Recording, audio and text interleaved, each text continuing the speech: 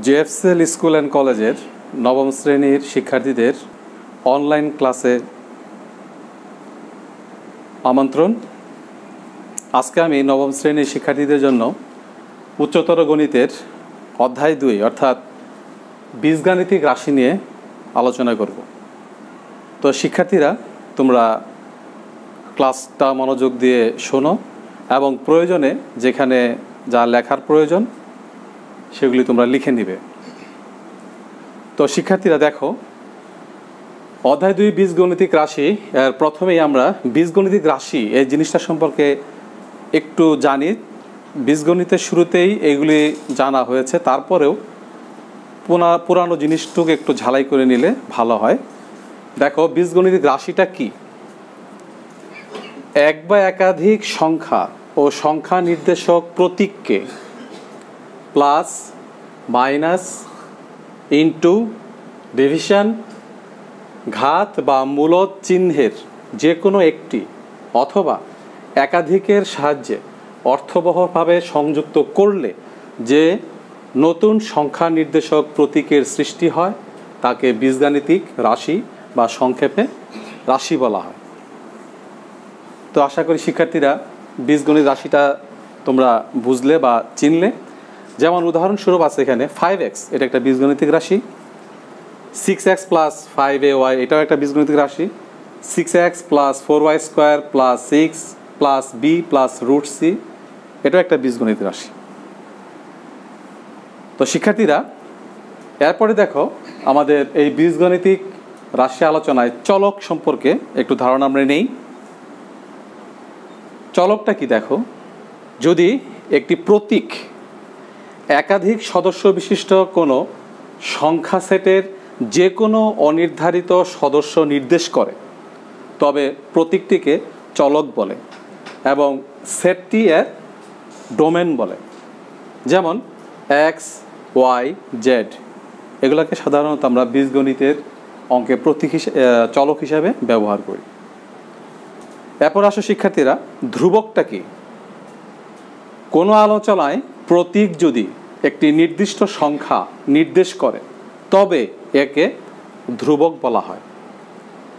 আলোচনায় ধ্রুবকের মান নির্দিষ্ট থাকে। তাহলে শিক্ষার্থীরা ধ্রুবকটাও তোমরা চিনলে। এরপরে আসো, বহুপদী।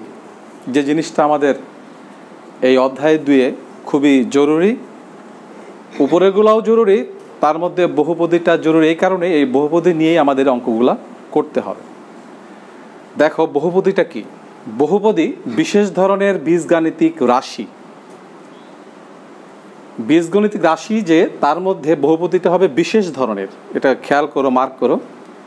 এরূপ রাশিতে এক বা একাধিক পদ থাকে এবং পদগুলো এক বা একাধিক চলকের শুধুমাত্র অঋণাত্মক পূর্ণ সাংখ্যিক ঘাত ও ধ্রুবকের গুণফল হয়। আবার একটু খেয়াল করো, বহুপদীর মধ্যে যে জিনিসটা গুরুত্বপূর্ণ সেটা হলো, এই বহুপদীর মধ্যে পদগুলা বলতেছে এক বা একাধিক চলকের, এক বা একাধিক চলক থাকতে পারে বহুপদী রাশিতে। এক বা একাধিক চলকের শুধুমাত্র অঋণাত্মক পূর্ণসাংখ্যিক ঘাত, অর্থাৎ চলকের যে ঘাত থাকবে সেই ঘাতটা অবশ্যই হইতে হবে অঋণাত্মক এবং হইতে হবে পূর্ণ সাংখ্যিক এগুলি কিন্তু গুরুত্বপূর্ণ।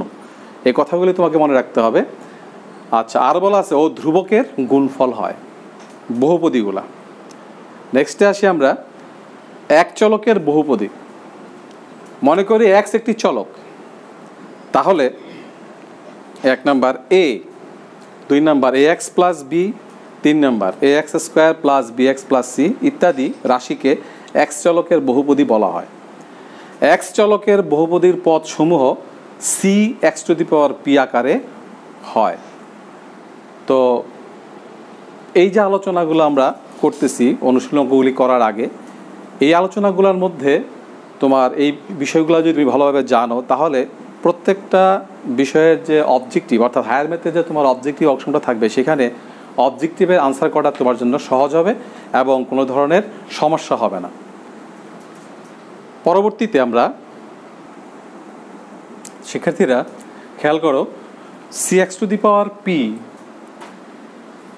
এই বহুপদীতে সি একটি এক্স বর্জিত নির্দিষ্ট সংখ্যা, যা শূন্যও হতে পারে, এবং পি একটি অঋণাত্মক পূর্ণ সংখ্যা। পিকে এই পদের মাত্রা বা ঘাত বলা হয়। এখন আসলে বন্ধুরা, বহুপদীর মাত্রা। কোনো বহুপদীতে উল্লেখিত পদসমূহের গরিষ্ঠ মাত্রাকে বহুপদীটির মাত্রা বলা হয়। গরিষ্ঠ মাত্রাযুক্ত পদটিকে মুখ্যপদ ও মুখ্যপদের সহককে মুখ্য সহক এবং শূন্য মাত্রাযুক্ত অর্থাৎ চলক বর্জিত পদটিকে ধ্রুবপদ বলে।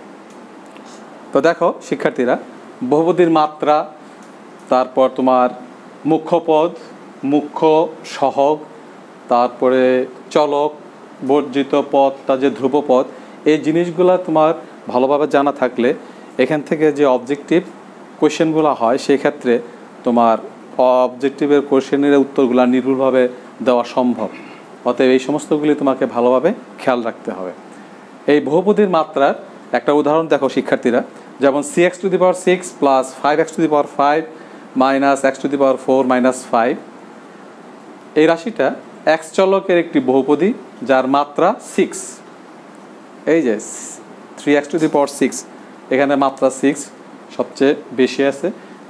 পাওয়ারটা যার মাত্রা সিক্স মুখ্য পদ হয়ে যাবে three x to the power six আর মুখ্য সহগ হবে এই three x to the power six এই পদের যে সহগ আছে এখানে থ্রি এটা, এবং ধ্রুবপদ হয়ে যাবে মাইনাস ফাইভ এরপরে আসো শিক্ষার্থীরা বহুপদীর আদর্শ রূপ। এক্স চলকের বহুপদীকে সাধারণত এক্সের ঘাতের অধক্রম অর্থাৎ মুখ্যপদ থেকে শুরু করে ক্রমে ক্রমে ধ্রুবপদ পর্যন্ত বর্ণনা করা হয়, এরূপ বর্ণনাকে বহুপদীটির আদর্শ রূপ বলা হয়। যেমন এখানে একটা বীজগতি রাশি আমি লিখছি, দেখো x to the power six plus x to the power five plus x to the power four plus x cube plus x square plus x plus six এই রাশিটা একটা এক্স চলকের বহুপদীর আদর্শ রূপ কারণ দেখো, বন্ধুরা, খেয়াল করো, শিক্ষার্থীরা এখানে এক্সের পাওয়ারগুলা শক্তি বা ঘাত যেটা আছে এখানে, মাত্রাগুলা কিন্তু সব মানে অধক্রম অনুসারে সাজানো আছে। আর মুখ্য পদটা এখানে x to the power six এখানে দেখো ঘাতগুলা অধক্রমে সাজানো আছে। আর সবার শেষে ধ্রুবপথ আছে এখানে সিক্স অতএব এটা একটা বহুপদীর আদর্শরূপ। তো শিক্ষার্থীরা, আজকে আমরা যেটুকু আলোচনা করলাম, এই আলোচনাটুকু থেকে বিষয়বস্তু মূলত যেটা তোমাদের মৌলিক হিসাবে জানা দরকার, সেগুলি জানতে পারলে এই অনুশীলনী থেকে যে সমস্ত নৈর্ভিত্তিক বা অবজেক্টিভ কোয়েশ্চেন থাকবে, সেগুলির আনসার করা তোমার জন্য সহজ হবে। পরবর্তী ক্লাসে আমরা এর পরে আলোচনাগুলো করে তারপর আমরা অঙ্কে যাব। আশা করি তোমরা এই জিনিসগুলো ভালোভাবে আয়ত্ত করবে এবং বাসায় নিরাপদে থাকবে, সুস্থ থাক, থাকার চেষ্টা করবে। আর যে সমস্ত জিনিস, যে সমস্ত বিষয় আমরা আলোচনা করি, সেগুলোকে বাসায় ঠিকমতো প্র্যাকটিস করবে। তো আজকে এই পর্যন্তই। আল্লাহ হাফিজ